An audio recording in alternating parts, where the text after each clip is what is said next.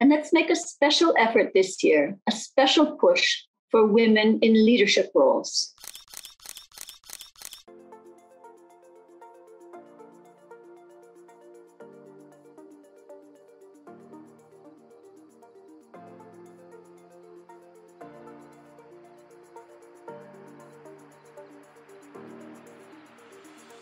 International Women's Day is our day to celebrate the unique and powerful contribution that women and girls make to societies, to families, and to all our lives every day.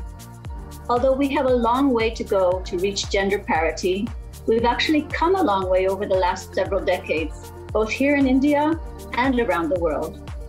So let's celebrate today the successes that we've made, but also recommit ourselves to the road ahead Let's recommit to a fully level playing field for women and girls in health, in education, in the world of work, in science, in political representation, in all spheres of life. And let's make a special effort this year, a special push for women in leadership roles, not only for the sake of women and because it's fair, but also for better decisions and better outcomes. I'd like to pay my very special sisterly respects to all women and girls in India today.